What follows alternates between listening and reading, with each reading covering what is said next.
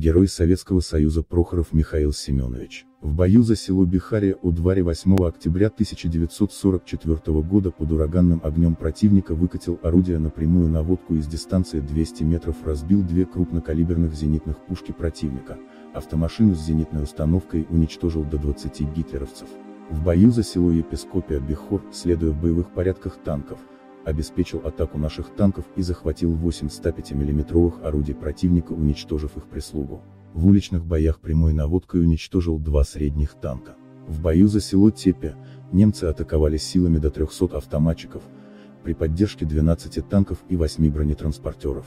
Орудие героя уничтожило 8 единиц бронетехники, 5 пулеметов и до 50 гитлеровцев.